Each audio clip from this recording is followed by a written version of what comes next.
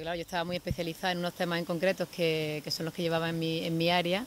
y ahora pues tengo que ver de una forma más transversal y, creo que también supone una oportunidad muy bonita de conocer esta provincia desde muchos puntos de vista, también de detectar oportunidades, de poder conectar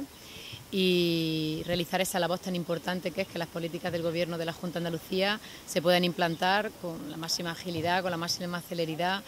que Jaén también pueda plantear sus propias peculiaridades en Sevilla para que cuando se legisle desde allí pues tengan en cuenta eh, las condiciones específicas que tiene nuestra provincia y bueno, con mucha ilusión, con mucha responsabilidad, eh, con mucha ganas de hacer cosas, pero sobre todo con mucha responsabilidad, la verdad.